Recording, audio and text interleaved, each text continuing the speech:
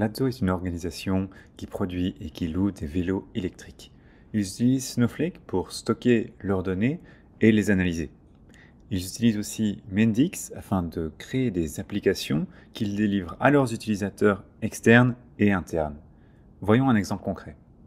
Cette application mobile permet aux utilisateurs de louer un vélo dans la ville de New York. Les données des vélos sont stockées dans Snowflake et affichées aux utilisateurs au travers d'une application créée avec Mendix. Si on sélectionne une station sur la carte, on peut voir le nombre de vélos disponibles. Ensuite, on peut commencer à utiliser le vélo. On voit la distance, le prix, le numéro du vélo et la batterie. Au fur et à mesure du ride, on va voir le prix qui augmente, potentiellement la distance qui augmente et la batterie qui baisse. Une fois qu'un utilisateur est arrivé à destination, il peut utiliser l'application pour terminer son ride. Les informations d'utilisation et les informations du parcours sont stockées dans l'application. Nous verrons tout à l'heure comment les envoyer vers Snowflake. Ensuite, nos utilisateurs demandent à l'équipe de créer une nouvelle feature. Ils veulent pouvoir voir l'historique de leur ride dans l'application. Créons ça ensemble avec Mendix. Les informations de l'historique de location des vélos par utilisateur sont stockées dans Snowflake. Donc, nous allons commencer par utiliser Studio Pro, l'environnement de développement de Mendix, pour créer une connexion vers Snowflake. Dans ce cas-ci, nous avons deux connexions qui sont déjà existantes, donc nous allons réutiliser une connexion. Nous pouvons afficher les détails et dedans nous voyons le nom de l'utilisateur, le password et la string de connexion. Ensuite, on peut voir les tables et les vues qui sont disponibles, et dans chaque table, chacune des colonnes, et on peut écrire une requête SQL pour choisir les données que nous allons afficher, dans ce cas-ci de la table trips. On nomme cette requête, dans ce cas-ci trips recent, et on peut faire tourner la requête pour vérifier qu'elle est correcte et voir les résultats.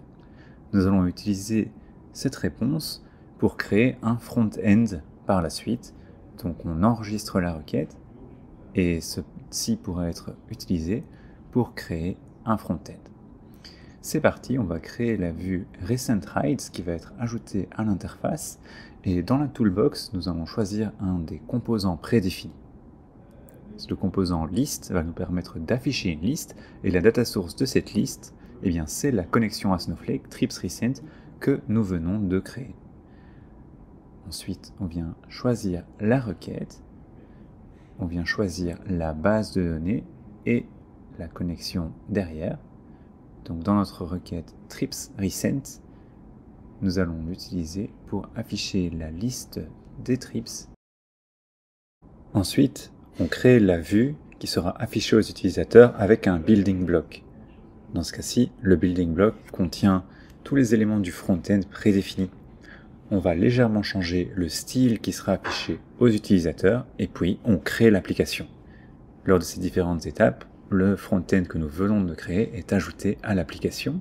Et maintenant, quand on retourne sur notre app mobile et qu'on va dans Recent Rides, nous avons une liste affichée avec les 5 derniers trips qui ont été pris par l'utilisateur.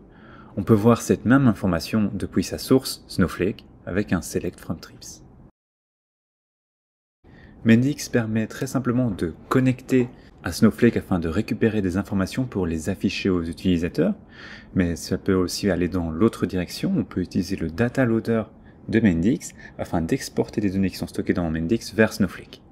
Dans la marketplace, si vous recherchez Mendix, vous verrez les différentes applications mises à disposition, dont le data loader. En ouvrant le data loader, vous aurez d'abord un setup à réaliser qui vous permet de connecter votre compte Snowflake à Mendix.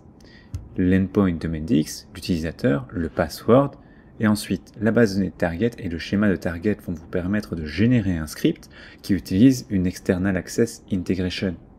Quand vous effectuez ce script dans une worksheet, vous allez créer une network rule, un secret et une external access integration qui vous permettent d'aller accéder à Mendix depuis votre compte Snowflake. Et ensuite, j'ai appelé Mendix avec le bouton Ingest Data afin de récupérer les données des capteurs de batterie qui avaient été générés. Et je peux maintenant requêter ces données, Select from Battery Sensor, qui me permettent d'afficher les données des capteurs de batterie qui ont été générés lors du dernier trip. Finalement, dans la dernière partie de cette démonstration, nous allons être un gestionnaire de réseau pour l'ATO. on se connecte à l'application de gestion créée par Mendix et le dashboard nous affiche l'état du réseau à New York. On voit le nombre de trips par mois, on voit le nombre de trips en temps réel et le nombre de vélos utilisés. En bas à droite, on voit trois stations avec des risques de problèmes. Cliquons sur la station du haut, on voit qu'il y a 113 vélos disponibles et 37 docks.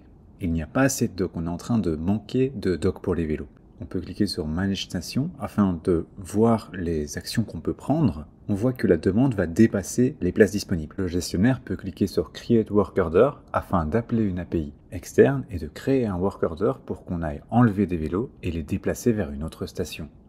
Mendix permet de développer rapidement des applications de qualité pour vos utilisateurs internes et externes en utilisant des données qui sont stockées et préparées dans Snowflake.